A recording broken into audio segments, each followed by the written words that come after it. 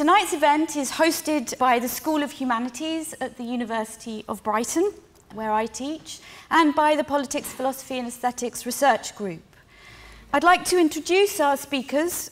We have Caroline Lucas, uh, who will be making the Green case to remain in. She is, of course, elected MP for Brighton Pavilion uh, since 2010. She served as the leader of the Green Party between 2008 and 2012.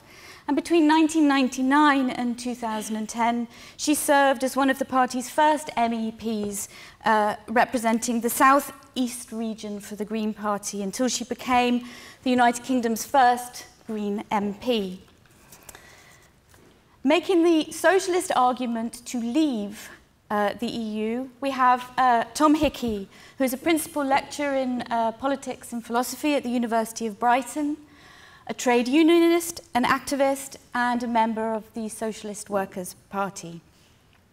What I'd like to do is to take a vote both before and after we've had, uh, we've heard um, from our speakers. It's not gladiatorial, right? no. And the contributions from the floor, and to see whether anything, anything shifts after this event. So, if we move to the first vote, um, and I'll do my best to accurately count, there are three positions here uh, for you to uh, register your vote in. One is to remain in the EU, the second is to come out, and the third is I don't know. okay? Um, so let's try this. Who thinks at this point that we should remain within the EU? Wow. Do I have to Definitely more pressure on me there because I can lose these people. Okay, do I really need to count this? um, yes, let's see. Do it the other way around. Yeah, I was going to say, okay, brilliant show of hands. Who at this point thinks we should come out? Okay, that is easier to count. Thank you. One, 2, 3, 4, 5, 6, 7, 8, 9, 10, 11, 12, 13, 14, 15, 16, 17, 18, 19, 20, 21, 22, 23, 24. Thank you. 24. And who at this point really doesn't know? Okay, thank you. One, two, three, four, five, six, seven, eight, nine, 10, 11, 12, 13, 14, 15, 16, 17, 18, 19, 20, 21, 22, 23, 24, 25, 26, 27. I did count you.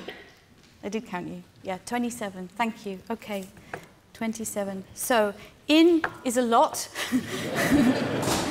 Out at the moment is 24, and a don't know is 27. Okay, so without further ado, Tom Hickey.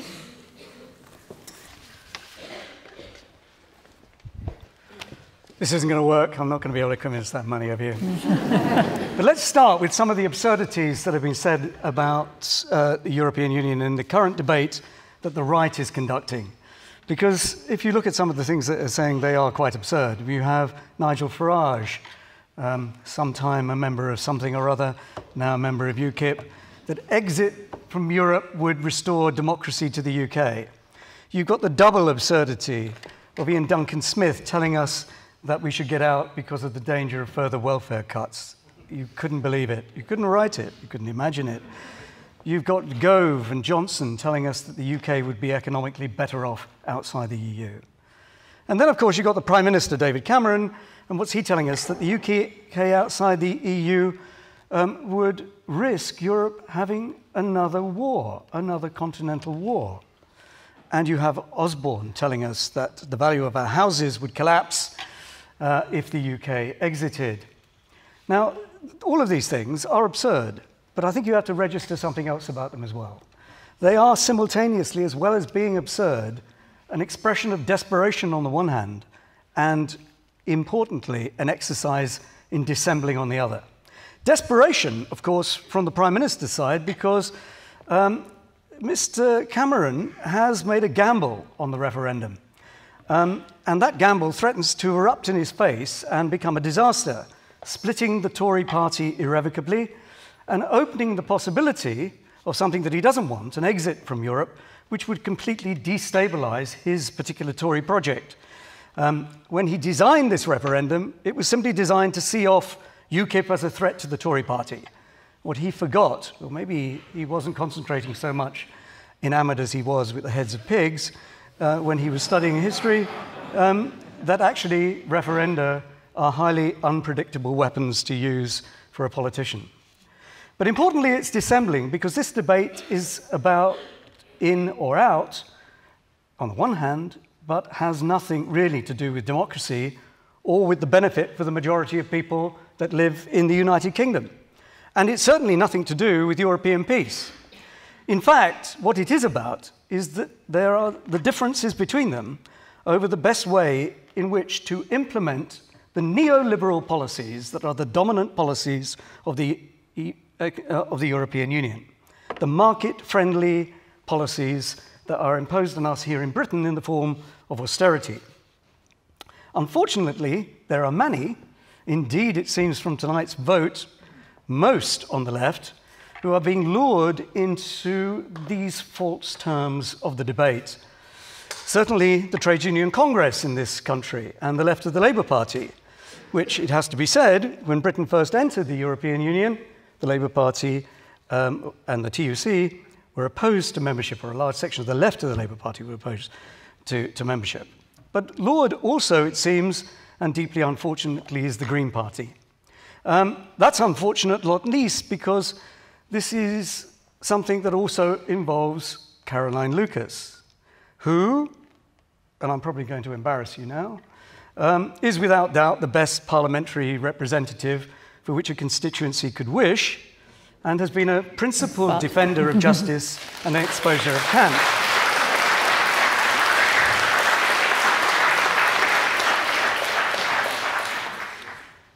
Wrong colour, but right politics.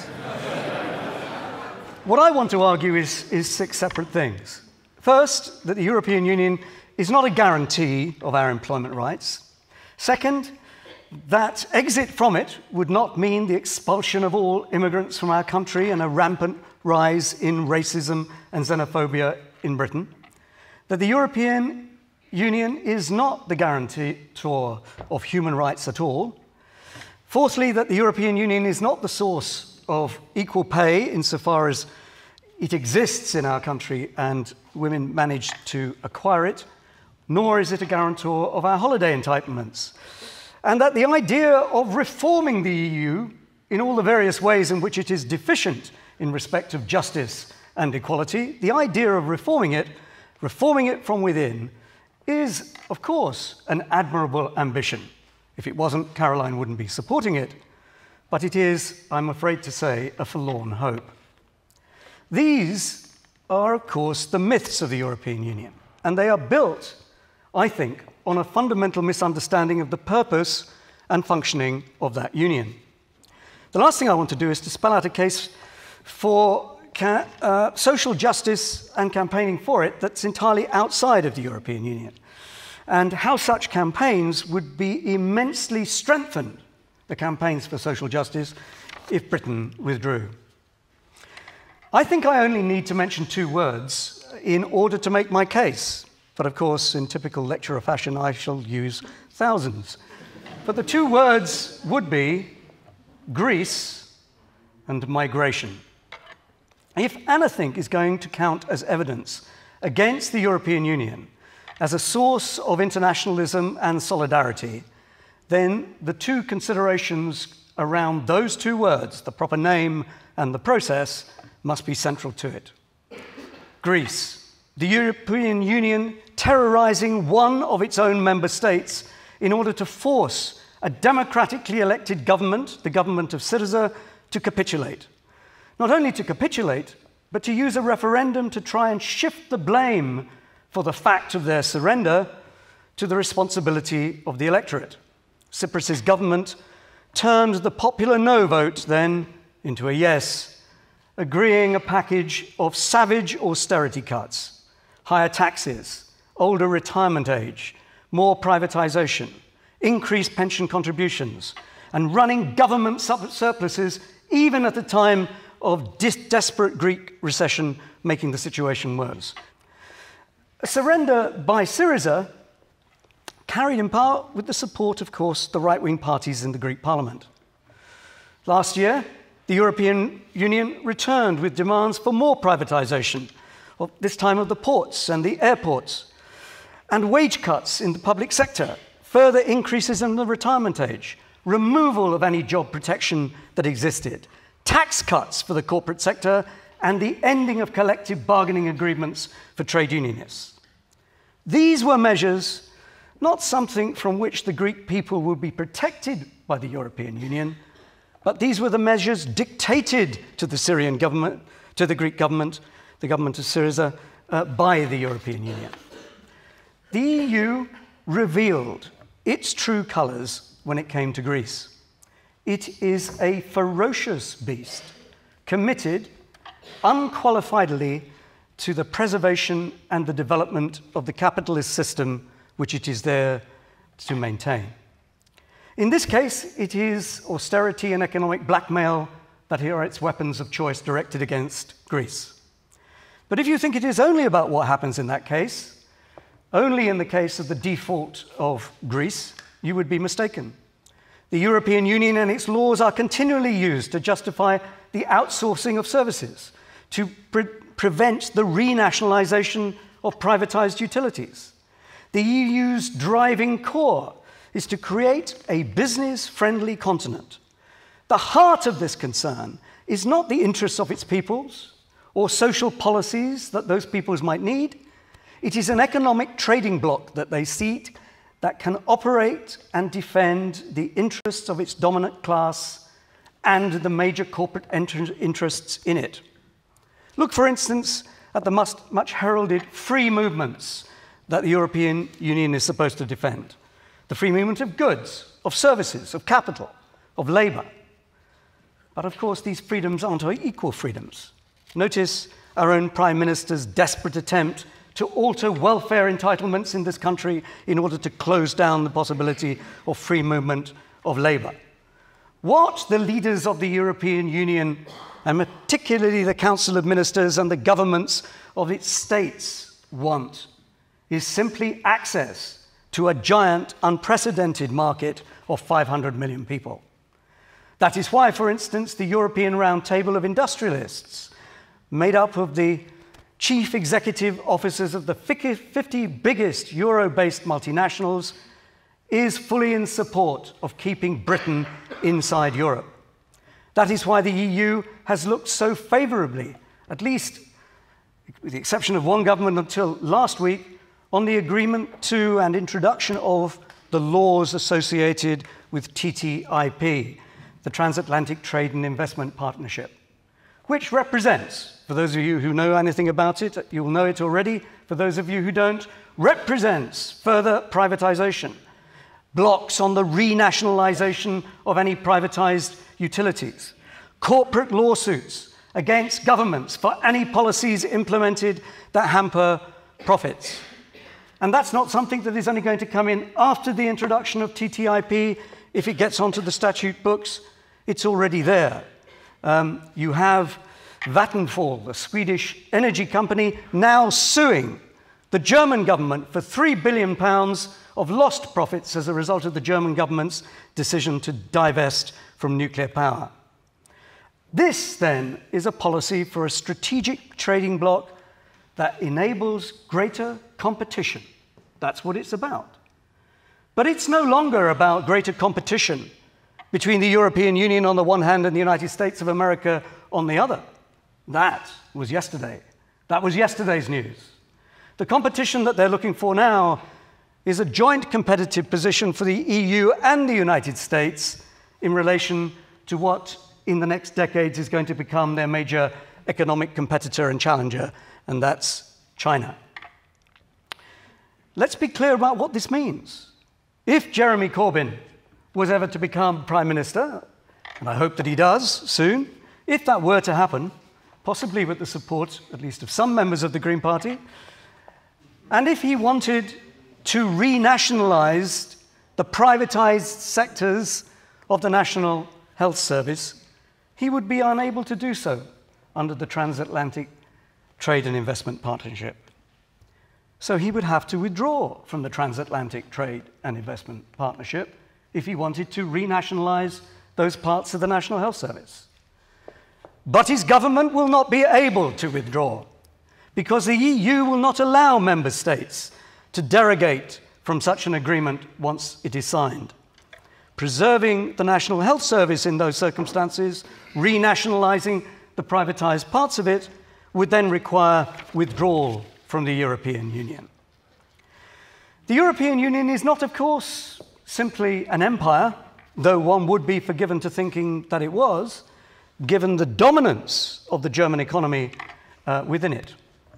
And it's not that empire, because all you have to do, for instance, is to look at France and see that this empire, if it were such a thing, has at its very heart something already pulling itself apart. What do we mean, for instance, in any event, by France in this case, when we say that France is at the heart of the European Union? We certainly don't mean the French, because France is, of course, now viciously divided, indeed, divided as never before since 1968. In March, over one million people filled the streets in protests as workers and students struck against French government policy, the work law. In many cities, there were tens of thousands on the street. There are 100,000 in Toulouse alone. In Marseille, there were too many to count. And in Le Havre, the city was completely blockaded by dockers and lorry drivers. Why? It was the work law, which does what? It makes it easier to sack workers. It ends the 35 hour week. It ends, in other words, the work code that people have benefited from over the past period. It lowers wages. All of these things being introduced not by the equivalent, a French equivalent of a conservative government, by a French equivalent of a Labour government, a right wing Labour government, it has to be said, under Francois Hollande. Attempts at state repression against this protest have actually made the situation worse for the government because angry people who previously weren't involved can't bear to see people being beaten up by the CRS riot police. And the government's desperation in those circumstances is what? What do they turn to? They turn to racism. And how do they do it? Well, let me give you a perfect example. The minister, Laurence Rossignol, Minister for Women and Children's Rights. She compared women who defended the wearing of the veil against the French government's ban as comparable to, as she put it, Negroes who were in favor of slavery in the United States of America. And why do I say these things in a debate about the European Union? Because it's not that Francois Hollande has decided that these are good policies to follow, independently of France's position in the European Union. These are the policies demanded of a socialist government in France if that government is going to survive in circumstances dictated by the European Union. And in those circumstances, we have to make a sharp distinction between internationalism, for instance, that says that you have a choice to be internationalist and stay in the European Union because that is, in some sense, better than the nation states, the separate nation states that preceded it. Or, on the other hand, you have to retreat into some form of nationalism and go back to the nation state circumstances. That, I think, is a false choice. It's a false choice because all one has to do is to look at what is happening in respect of migration and see how support of the European Union represents support for an organization that is responsible for turning the Mediterranean into a sea of death. Because people are not dying there because of the weather or because of bad ships they're not dying there because of people smugglers or people traffickers, and these things are often confused in the minds of politicians. They are dying because of the immigration controls imposed by the European Union and its decision to pull back the ships that could have saved the people in foundering boats. So I say to those who want to claim that internationalism drives you to stay in the EU, you are making a category mistake. Internationalism is about fighting to defend the right to life of those migrants, and you can't do that by supporting the European Union. You have to break from a European Union that is responsible for their deaths. You have to build campaigns against the racism of people like Minister Rossignol. And unless we do that, what we're doing is investing in the myths of what the European Union stands for. We are covering our eyes or closing our eyes to the reality of this as a partnership that serves the interests of those 50 chief executive officers of the largest 50 transnational companies based in the European Union. So, this is that kind of choice. We are being sucked into making a mistake if we don't realize that to defend justice, to aspire to equality, requires getting out of this club designed for the rich of this continent.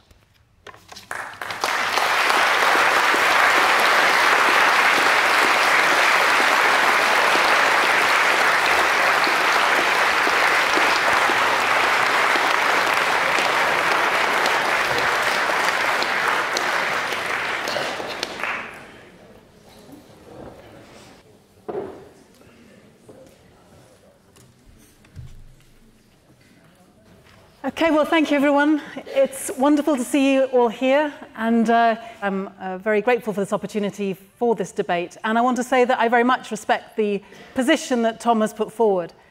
And I have to say that if I thought that by withdrawing from the EU we would be guaranteed a government run by Tom and colleagues of his, then I would be a lot less worried than I am standing here today. But.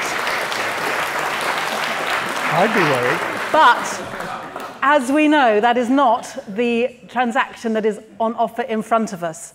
The people who are likely to be running this country if we leave the EU are people like Boris Johnson and Nigel Farage and IDS and Michael Gove. And if that seems bad enough, just think they're going to be supported by people like Marine Le Pen and Donald Trump. I rest my case. But I too will use a few more words uh, to, to put that case because I think this debate absolutely goes to the heart of what country we want to be, what kind of future we want for ourselves and our kids. And I will be the first to admit that the EU has its faults and that the governments at the top table right now certainly don't share my politics. But I believe that to change it, we need to be part of it. And for me, the bottom line is that I fail to see how Britain can possibly be more effective working on its own when it comes to facing cross border challenges, as so many of the challenges are that face us today, like climate change, like the refugee crisis, like the excesses of the international financial system. Now, of course, the EU needs to be reformed. It needs to be made more transparent and accountable, more accessible and democratic. But do you know what? So does Westminster. And I don't see many people suggesting we leave the, e the, the UK because we don't like the policies at Westminster right now. And at least our members of the European Parliament are elected by proportional representation. Now, hearing some Tory MPs lecture us about democracy when they come from a government elected with 24% of the popular vote frankly sticks in my throat. So I think we need to stay in it to change it. And we also need to change, certainly, its end goals away from ever greater competition and privatization towards greater cooperation and stronger public services. But this is exactly where I think we need to distinguish between the EU institutions on the one hand and the current policies that are being pushed by the predominantly right-wing governments who sit around the table of the EU today. Tom says that the left has been lured into the false terms of this debate. But much as I respect him, I think he's given you false terms for this debate. Because the issue is not whether or not we like the policies currently coming out of the EU. It's whether we think the EU institutions are the right ones that we need to face the challenges that we are, we are, we are up against. and then how we mobilise in each of our member states to make sure we get the right governments around the table. So let me take TTIP as an example. People regularly ask, how can you possibly support the EU when the EU is negotiating what is indeed a terrible trade agreement behind closed doors with the US. And part of this trade agreement is indeed the investor state dispute settlement mechanism, which allows private corporations to sue democratically elected governments if they believe those governments are setting up so called barriers to trade. Those barriers to trade are, are, of course, what we would call health and safety regulations, environmental regulations, and so on. Now, I am campaigning against TTIP every bit as vigorously as Tom. But the truth is that it is our own government which is the key cheerleader for TTIP.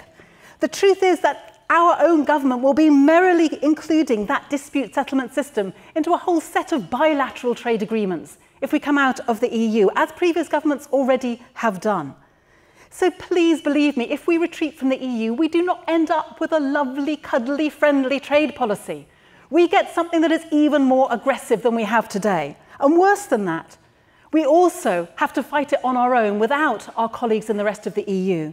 Because right now, over 3 million people have um, signed the, the petition against TTIP across the EU. 250,000 people have been marching against it in Berlin.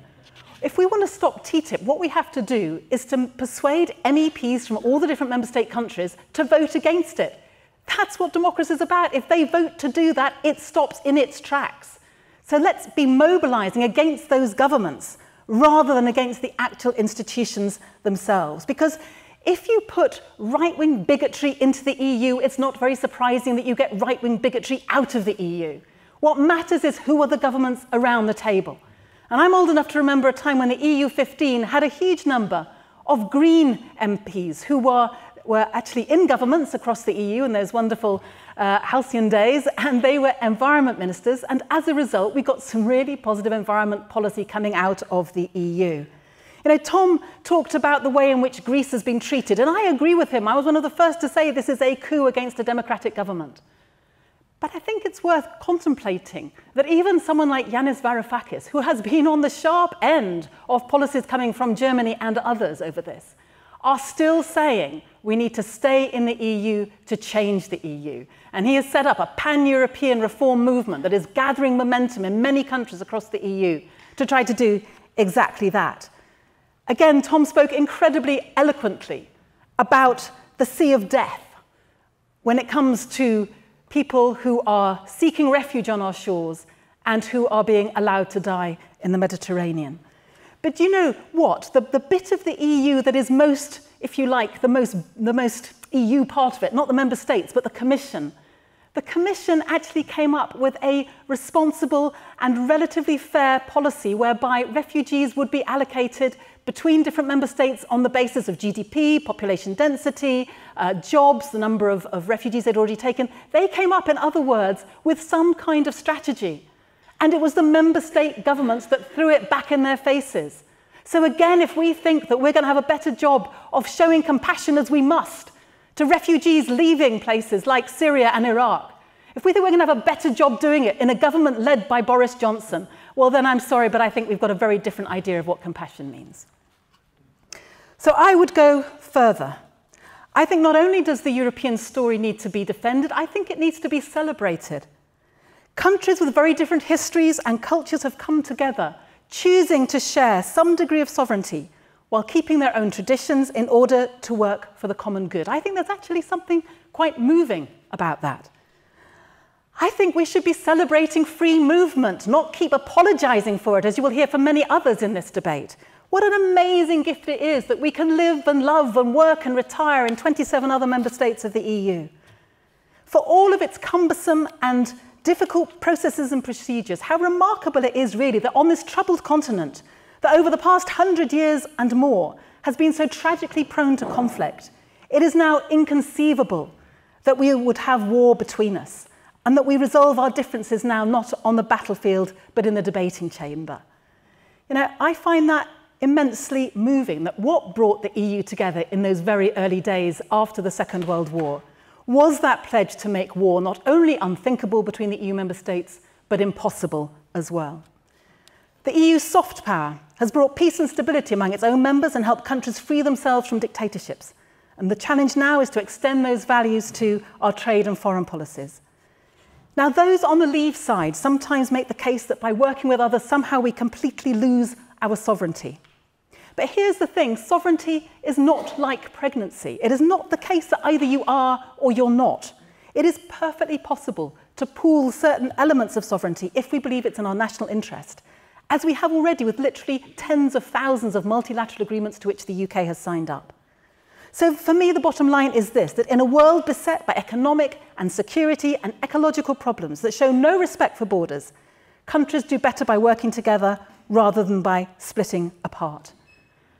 And so let me just illustrate that, looking at three issues in particular. The first is restraining global capital.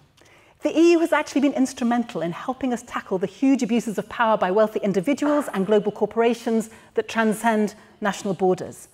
The EU, the EU has led the way on tax avoidance by coordinating the international drive to crack down on individuals and institutions who hide money offshore. It's established tax cooperation procedures among its own member states, and in the wake of the HSBC Swiss tax scandal, it signed transparency agreements with havens like Switzerland, Liechtenstein, San Marino, and many others. And the UK would not be part of those if we left the EU. And the EU has been more prepared than many national governments, including our own, to tackle action against multinationals like Fiat, Starbucks, and Apple to ensure that they pay their fair share of tax.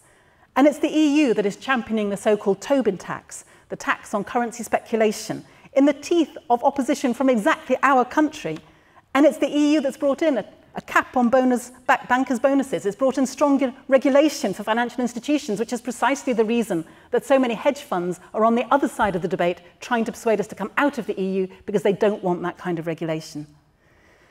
And I come to workers' rights, and I believe the EU has protected, enhanced, and extended the right of working people in the UK for a generation or more. It is the EU that guaranteed a minimum amount of paid holiday, that enshrined paternity and maternity leave in law, that gave part-time agency workers the same rights as their full-time colleagues, that ensured that no one was working seven days straight, uh, should have to work an eighth without having 24 hours rest. It was the EU that passed legislation which gives workers a 20-minute break every six hours.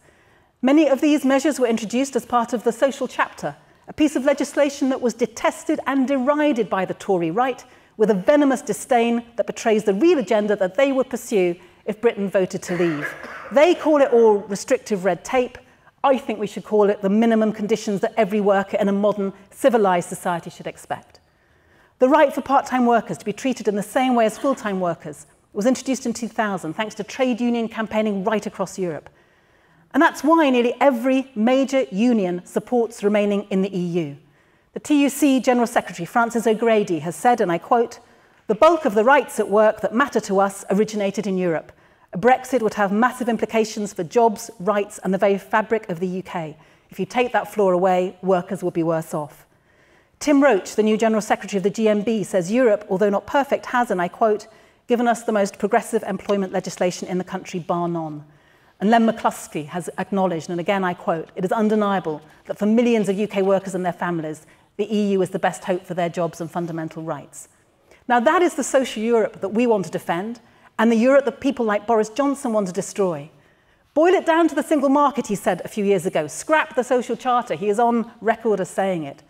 So please don't be under any illusion that these protections will be safe if Leave campaigners win the argument and the UK votes to leave the EU. You might think that no government would be daft enough to risk being punished at the ballot box by removing these rights, but forget not that it wasn't that long ago that the Tory government suggested asking workers to give up employment rights in return for receiving a small number of shares in the company they work for. And so in my last minutes, let me make a few arguments about the environmental reasons why Britain is better off in Europe. And of course, environmental problems absolutely illustrate the importance of working cross-border because environmental problems do not queue politely at borders waiting for their passports to be checked. They are, by their very nature, cross-border problems that need cross-border solutions. Take air pollution, for example. Up to 50% of the concentrations of fine particulate matter, the main cause of premature death in this country, are from emissions in other European countries. That is something we cannot tackle on our own. And that's why the EU's clean air policy package is so important. Similarly, it's European laws which have forced the sewage out of Britain's bathing waters, the acid rain out of Britain's atmosphere. It's got rid of the most dangerous chemicals in our environment and the carbon pollution of our motor vehicles. For challenges that span national boundaries, our EU membership helps us avoid duplication, increase coordination, and pool limited resources. And if you look at things like the Birds and the Habitats Directive, they are far stronger than any of the national protection that we have in this country, and they work. If you take birds, for example, according to research, the most consistent single factor in a species' fate is whether or not it is protected by the EU Birds Directive or not. And that would go if we left the EU. And if anyone genuinely thinks that the UK government is just as likely to enact legislation in this area on its own, I would suggest that they haven't been paying attention. We currently have a Prime Minister who talks of getting rid of the green crap, who's made it his mission to have a bonfire of regulation whether or not it's useful. A Chancellor who has said that the EU nature laws place what he calls ridiculous costs on British firms. A government that has instructed its own MEPs to vote against laws to improve inspection on vehicle emissions. And if we have Cameron replaced by Boris, then we also have the lovely prospect of a Prime Minister who apparently doesn't even believe that climate change is caused by human activity. Again, I rest my case. By staying inside the EU, the UK can use that as a platform for our strong environmental policies on climate change because we have been able to show some leadership on that. And by taking a leading role in the EU, we've enabled the rest of the EU to match our ambition And as a result of that, we were able to get a deal at Paris, which, again, was not everything that we would have wanted it to be, but it was a lot better than we feared it might be. So for climate change, if for no other reason, it feels to me that we absolutely have to be staying inside the EU, working together, because we know that governments are more comfortable taking long-term decisions when their neighbours and partners commit to the same obligations as well. It means as well that there isn't a race to the bottom on environmental standards or workers' standards as factories try to find the cheapest way to, uh, to do their business. And the very last thing I want to say, and this comes back to peace, and Tom made a bit of a joke about, about, about Cameron saying that if we came out of the EU, then we risk World War III. Well, I don't think that, but I do think we shouldn't underestimate what the EU was built on and why it's so, still so important. Because the EU we have today is not an abstract project that was born in some kind of continental think tank. The imperative to share sovereignty in Europe and ensure that economic competition does not spill yet again into conflict, was built on the blood and the bones of Europeans killed in the disastrous first half of the 20th century. And the EU is a pragmatic response to our failure to manage the disruptive forces of nationalism and industrialization. And on the whole, it has tamed the aggressive ambitions of European elites who disputed control of the continent for centuries. Now, I don't pretend the EU has been the only force for peace, nor do I claim that peace is impossible without the EU. But what I do believe is that one of the foremost reasons that this institution is worth preserving is because it makes peace more likely. So yes to the EU, yes to reforming it, but to change it, you need to be in it, as many other organisations across the EU are working to do, and I find such inspiration from those movements in everywhere from Spain to Portugal to Greece and beyond, who, like us, are having these debates about what kind of EU they want. And I believe that another Europe is not only possible but she is on her way. To paraphrase the wonderful Arundhati Roy, on a quiet day, I can hear her breathing. Thank you.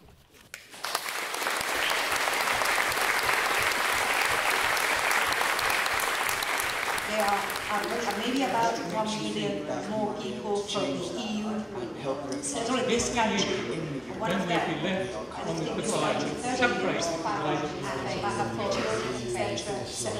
We must control what they do. After uh, Caroline and Tom have spoken, we will take another vote as a way of concluding the evening. So if I can invite Caroline up to sum up.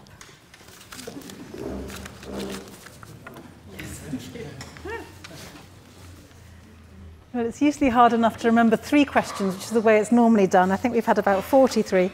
Um, so I do apologise if I don't answer every single question, but I will do my best. Um, and the first uh, issues that were raised was about, um, you know, would, would a Brexit give us this impetus for something new and more exciting? And the particular example that was given early on was, would that mean that we um, then get Scottish independence more quickly?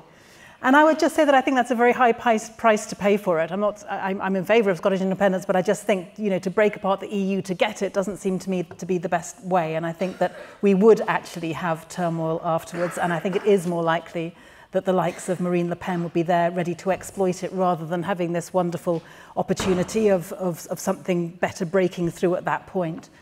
I was asked about where, where do you get your idealism from when it comes to the EU. And I don't think I'm, I'm rosy tinted, rose tinted glasses about, about the EU. I've been a member of the European Parliament. I've seen up front just how cumbersome and flawed the EU institutions are. So I'm not speaking from some kind of myth about the EU, but I genuinely do think there is something moving about countries that have spent an awful lot of time fighting one another, now coming together to find solutions through debate and discussion, however long term and tedious that might sometimes seem at the time. And I do think that as a result, we have had some extraordinarily good policy. We've spoke, spoken a lot about the policy that is not so good, but I want to come back to some of those key environmental policies that have meant that our seas are much cleaner to swim in, that our air is much better to breathe. And when it isn't, when the UK is in default on those air pollution policies, then there's a legal mechanism at EU level to really bring them into line where the British government is not in, in line at, at the moment. So I think that my sense about the EU is actually something that is absolutely grounded in pragmatism, but also grounded in the idea that actually working together, generally speaking, when it comes to incredibly complex and difficult problems that we face, is a better way to tackle them rather than retreating and working on our own. There were some questions about refugees and, and, um, uh, and free movement. I want to clarify, when I was talking about free movement, I meant within the EU. That's how that phrase is usually used, free movement within the EU. That's what I'm celebrating. I'm, I also want to see a far more compassionate policy towards refugees from outside of the EU. But again, I think it's far more likely to happen as a result of being a member of the EU. I come back to what I said before about the European Commission actually coming up with a far more workable, generous, compassionate policy than any single member state has done. Uh, and, and I think that that was something that we should um, uh, support.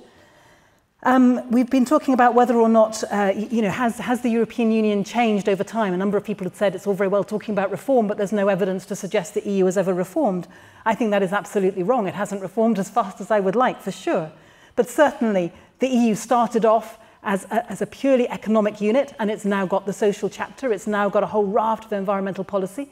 It is now absolutely trying to contain capitalism in a way that I don't see any other single member state inside the EU doing. I come back to the fact that the bankers' bonuses, the restrictions on, on, on takeovers and so forth, because we've got the monopolies and competitions uh, laws at EU far stronger than anything we've ever had uh, in the UK. Is that going to be standing up to global capitalism on its own? No, of course it's not. But I think it gives us a better chance of working together with Podemos, with elements from Syriza, from you know, the mayor of Barcelona, these, these people who are working together to put forward a very different kind of economic model that I think we very urgently need, and I certainly don't see much sign of happening if Britain is ruled outside of the EU. There were some very important questions about internationalism.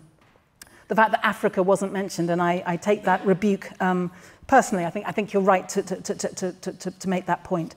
I used to work for a development NGO for 10 years before I was in the European Parliament. I worked on trade policy for that development NGO, and I have seen that the EU can be both a force for good and bad, certainly. I would not be here saying that EU trade policy has been great for the countries of Africa. It has not. But then neither do you think would the UK trade policy have been, and whether it's been under Labour or Tories, they have been more aggressive about trying to open up those poorer countries to uh, the markets uh, and, the, and the big corporations uh, in the rest of the EU, whether that was Peter Mandelson under Labour or whether it was trade commissioners under the Tories. So uh, again, I would argue that we do not get better policies by retreating, we get better policies by fighting for them with our colleagues in the rest of the uh, EU. Someone made the point about uh, not having um, the vote for EU nationals. I completely agree with you that that is wrong. I fought very hard both for EU nationals to have a vote in this referendum and for 16-year-olds to have a vote in this referendum. And sadly, we didn't uh, succeed. We still came back to talking about TTIP, but again, I would make the case that we're more likely to fight and defeat TTIP by staying inside the EU, working, for example, with France. France is actually blocking TTIP as it happens right now. If we retreat, we're actually going to have those same kinds of TTIP policies put into bilateral trade agreements, and we won't have those colleagues to be fighting alongside us in order to, um, in, order to um, uh, challenge them. Um, someone mentioned the UN, um, and, and I would love, love to see the, the, the UN um, you know, being reformed uh, and being taken more notice of. But one question I would ask about the UN is, you know, why do we think that it's right that the Security Council has a seat for France and a seat for the UK? Why is there not an EU seat? And in return, then make more spaces for developing countries who absolutely should be there. The Security Council is a complete anachronism, uh, and we need to have others there. Um, I'm happy to say that I'm an anti-capitalist. But the question that is in front of us is whether or not those anti-capitalist policies are more likely to be successful by staying in the EU or more likely if we come away. And I don't see any evidence to suggest that we're going to find that any easier by coming away. There's been lots of language around bunch of bureaucrats, which frankly is a little bit lazy because actually the policies that are coming out of the EU now are being voted upon by a majority of member state governments and a majority of the European Parliament. Another thing that has changed across time when it comes to the EU has been exactly the power of the European Parliament. It started off as simply a consultative body. It now has co-decision policy-making powers on an increasing number of issues, uh, and, and that is uh, changing and, and improving uh, all the time. Um, gosh, what else? Uh, I, I, I, really have sympathy with, with, with a number of people who have said, what, what has this debate got to do with us?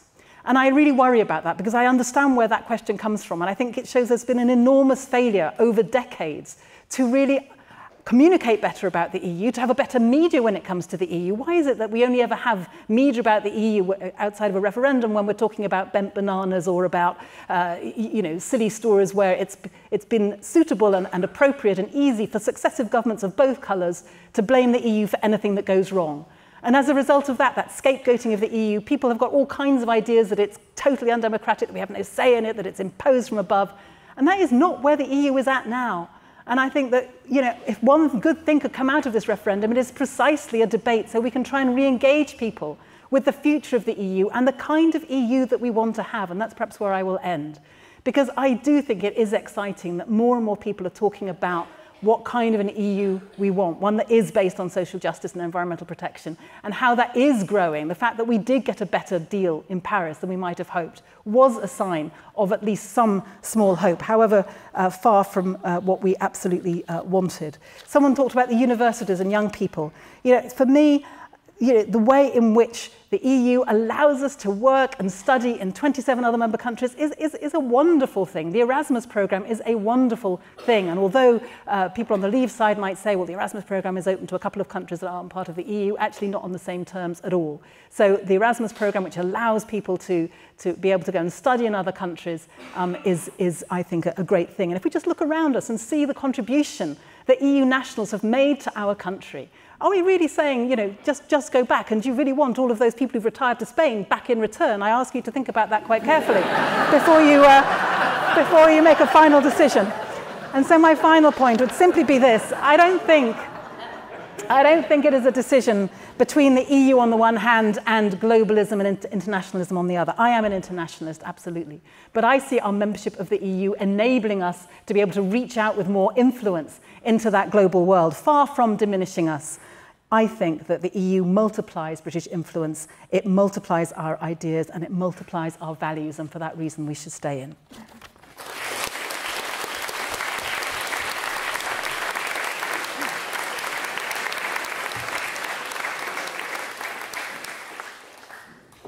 Well, I started off on a losing wicket with the vote. And then there was the conclusive argument, which was the face of Nigel Farage on the television the next morning. So, what am I to say? Uh, Caroline said that we were tossing compliments around, and she said uh, she'd be quite happy to, if I was a member of some government, but we, I wouldn't be after the event. God, if I was a member of the government, I think everyone should be worried. Um, I want to deal with uh, one question that somebody raised about whether or not it's better for people to be, for countries to be working together. I think it was Caroline in her talk, rather than apart. I'm concerned about what on earth that means. What is it for countries to be working together?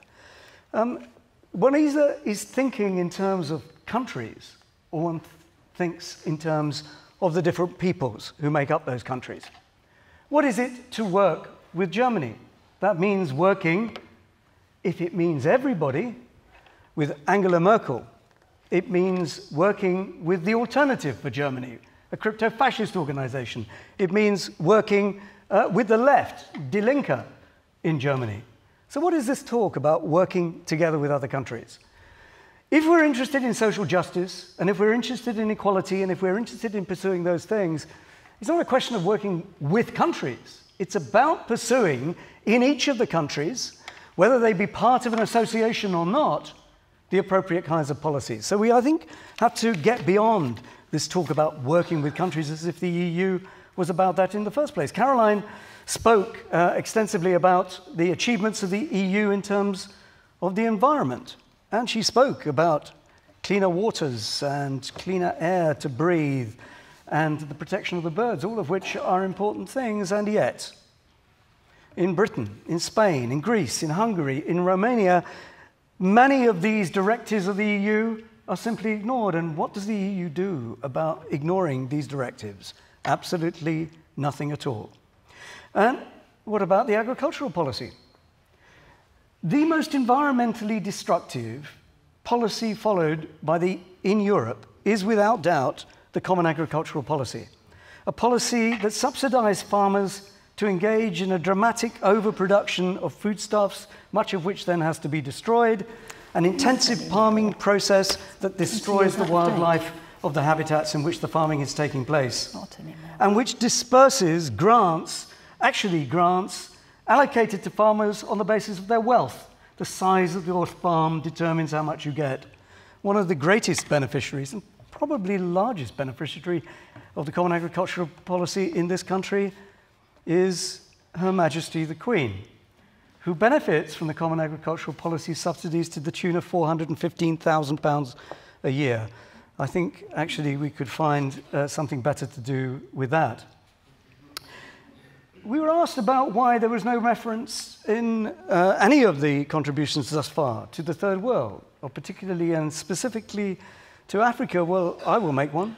Well, I'll make the reference to Africa about the policy of the EU, which sanctions European fishing trawlers to fish off the west coast of Africa and indeed occasionally off the east coast of Africa consigning fishing village after fishing village on the west coast of Africa to poverty and destitution, and on the east coast, driving villagers and fishy, fisher persons uh, to piracy.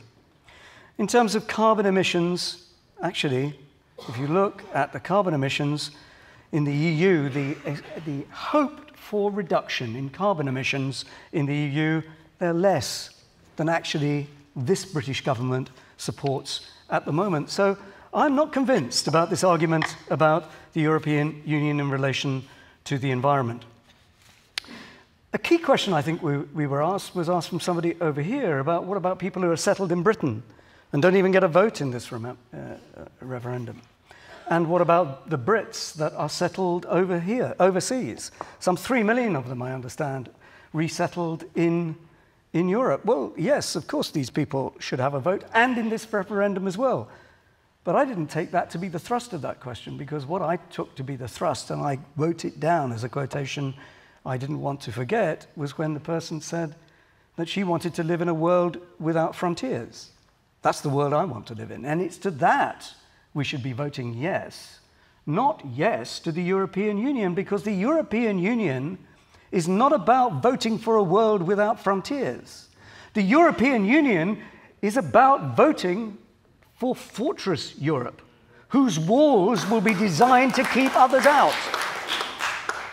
The EU, therefore, is not part of a project for uniting the world's population, for dissolving the borders that keep us apart. Um, and then there's the question of reform. Caroline's argument, I respect the argument, but I think it's a mistaken argument, is that the EU has done some good things and many uh, less respectable things, but it's an organization that can be reformed. And I think that in one sense that's right. The sense in which it can be reformed is in theory, in a lecture or a debate, but in practice, there will be no effective reform of the EU. I don't know if you know, I suspect that Caroline knows about the number of corporate lobbyists that work in Brussels alone. The Corporate European Observatory reports to us that there are no less than 30,000 people employed by the major corporations, not just of Europe, of the world as well, resident in Brussels to lobby the key figures in the European Union to make sure that no European policies pass that contradict the interests of the corporate sector that they recommend, that, they represent. 30,000. I understand that that's equivalent to the total number of people employed by the European Union in Brussels. And imagine that the governments of Europe, which dictate the councils of ministers, um, to imagine that they, in some sense, are going to allow popular influence to shift their policies of driving through neoliberal policy, I think is quite frankly delusional. They will not do that. They will not allow it. The governments of the separate countries committed to neoliberalism will not allow that to happen. And of course, the European Parliament is, of course, as I'm sure Caroline will be the first to admit and to confirm to us, largely powerless in relation to the Council of Ministers. No. I won't. That's not true. It's not okay. true. We're going to have to have another debate about the structure of the EU. Um, I, I want to finish simply by saying this. The key question for us is what the EU represents. Not that it has this policy that we are in favour and all this raft of policies that we might be against. That's not the fundamental issue. The fundamental issue is the character of the organisation itself. What it was set up to do, what it has attempted to prosecute during its existence, and what its immediate future is going to be in terms of policy. People do change their minds, and I hope that some of you will change your mind as well. I'll give you one example of somebody who has been, up until the time of the terrorization of Greece, from the first moment that Britain entered it, a trenchant supporter of British membership of the European Union. He's a world renowned intellectual. He's a famous Marxist scholar. His name is Perry Anderson, sometime editor of the journal New Left Review. And with the breaking of Syriza by the Troika, Anderson wrote the following words The European Union is now widely seen for what it has become an oligarchic structure riddled with corruption, built on denial of any form of popular sovereignty, enforcing a bitter economic regime of privilege for the few and duress for the many. I couldn't have put that any better. I never can put things better than Perry Anderson, damn his hide.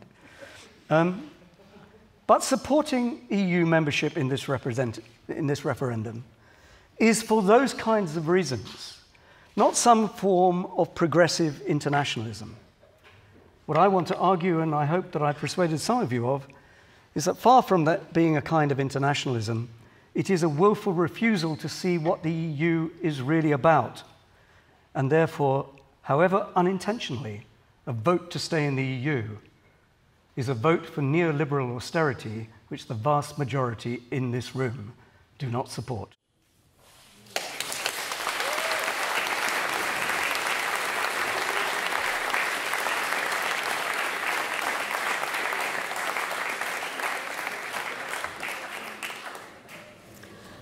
Okay, we'll finish with um, another vote. Uh, remember, there are three positions vote to stay in, vote to leave, and don't know.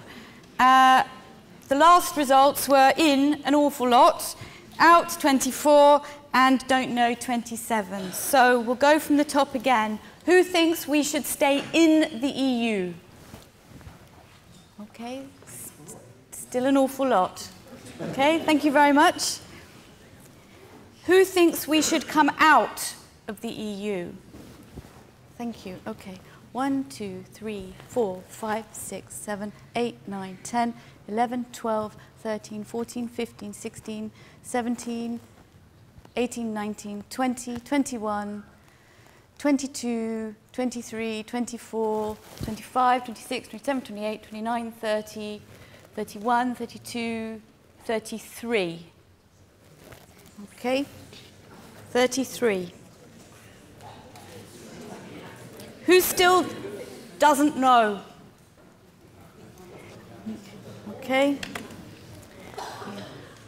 One, two, three, four, five, six, seven, eight, nine, 10, 11, 12, 13, 14, 15, 16, 17, 18, 19, 20, 21, 22, 23, 24, 25, 26, 27, 28, 29, 30, 31, 32, 33. Is there no one down here? Did you put your, can you, 34, 35, 36.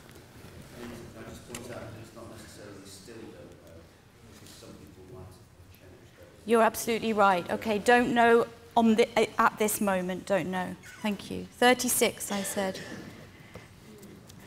Okay, well, still an awful lot of people want to stay in, the vast majority. Uh, we have moved from 24 to 33 who have voted to leave. And the don't knows at this point in time, compared to before this um, debate, has moved from 27 to 36. Um, I'm not a pollster. it's the kind of victory I could do without.